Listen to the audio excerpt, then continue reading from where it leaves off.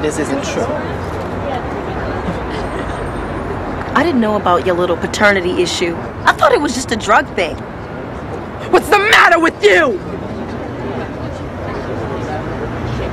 I had nothing to lose. That is exactly what I'm talking about. That right there.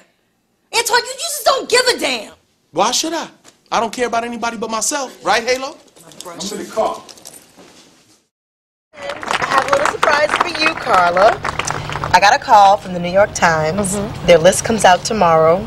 Your book will be number one. Is my receipt in the bag? Can you just put her on the phone?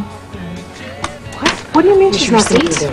No solvents, just soap and water, and um, something for your next purchase. Thank you. Thank you.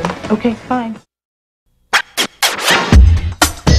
We got a lot of athletes here playing, you know, and naturally athletes are athletic. Yeah. So as a comedian, actor, Yes. what kind of game are you bringing to the show? I'm bringing a lot of games, and I'm athletic because I could have went pro, but I hurt my toe. Everybody know that, and I started acting when I hurt my toe. Is that what happened? Yeah. I- No.